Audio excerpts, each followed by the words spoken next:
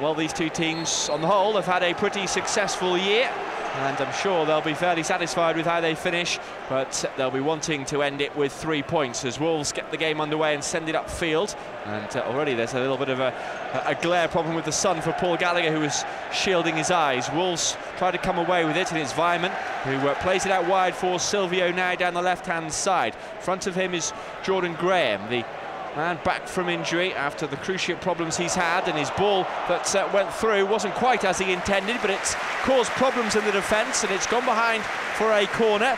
It's Graham who's gone across for the corner now on the left hand side. Everyone waiting in the six yard box as they move out now. It's uh, played in and headed in for Wolves in the opening stages of the game. Is Danny Batth, the captain who is celebrating.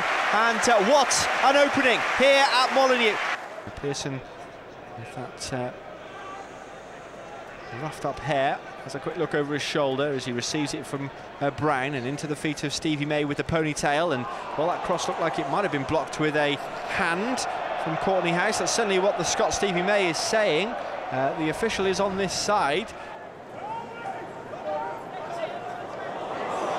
Baptista's lost it here, and Dicko sliding in. He's got Edwards in support too, as Dicko tries to pull it back, and uh, it should be tapped in. Oh, it's off the post! And uh, Preston survive. Eno here with a glaring opportunity.